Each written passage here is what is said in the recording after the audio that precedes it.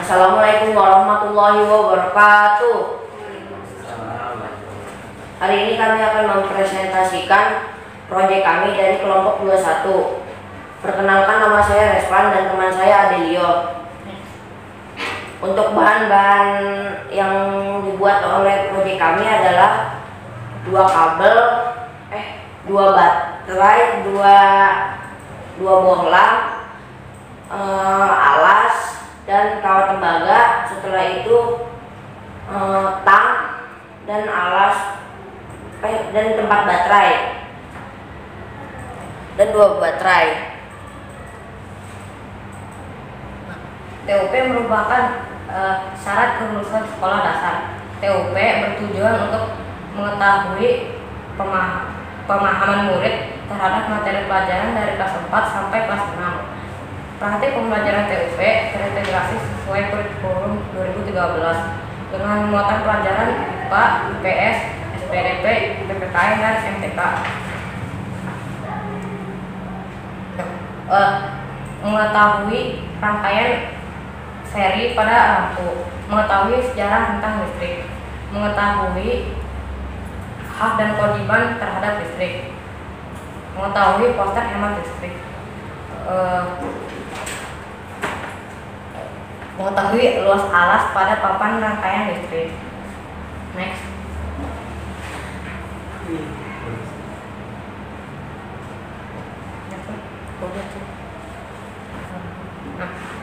Siapkan alat dan bahan. Setelah itu potong bagian ujung kabel yang diperlukan dengan menggunakan alat tang pengupas kabel. Setelah ujung kabel terpotong, sambungkanlah ujung kawat tembaga ke salah satu kabel pada lampu. Sambungkan semuanya. Sambungkan bagian ujung dari kabel lainnya ke ujung baterai positif dan kabel lainnya ke ujung baterai negatif. Setelah selesai sambungan yang sudah dibuat dikencangkan dengan menggunakan tangan. Bagian ujung kabel yang terbuka disolasikan pada masing-masing baterai supaya tidak lepas. Rangkaian listrik seri sudah siap diuji coba. Pada rangkaian seri hanya memiliki satu baris listrik yang berderet tanpa adanya percabangan. Keunggulan rangkaian seri adalah penghematan kabel serta saklar yang membuat biaya yang dikeluarkan lebih murah. Kelemahannya adalah jika satu lampu mati, maka lampu yang lain ikut mati. Next. Listrik ditemukan oleh cendekiawan asal Yunani bersama bernama Thales. Ditemukan pada tahun 546 sampai 640 Masehi. Eh, Dan Michael Faraday yang menemukan arus listrik. Hak dan kewajiban kita terhadap listrik bisa ditemukan atau dilakukan dalam kehidupan sehari-hari. Contoh hak kita terhadap listrik adalah mendapatkan sumber energi yang cukup. Kewajiban kita menggunakan listrik adalah hemat. Reklama adalah sebuah papan iklan. Reklama dengan jenis poster bisa digunakan sebagai poster edukasi. Listrik merupakan sumber energi.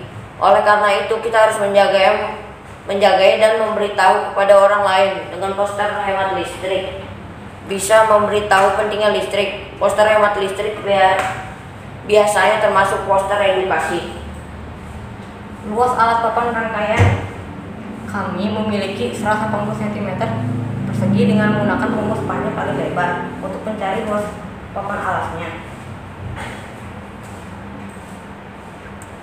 Rangkaian seri hanya memiliki satu baris arus. Cendekiawan asal Yunani bernama Thales adalah orang yang pertama menemukan listrik dan Michael Faraday yang menemukan arus listrik. Kita harus menyeimbangkan hak dan kewajiban kita terhadap listrik. Poster edukasi tentang hemat listrik bertujuan agar orang-orang mau menghemat listrik. Luas papan alas rangkaian listrik listrik 180 cm persegi. Semoga proyek rangkaian listrik ini bisa digunakan untuk media pembelajaran dengan tujuan menuntut ilmu. Demikian dari kami wassalamualaikum warahmatullahi wabarakatuh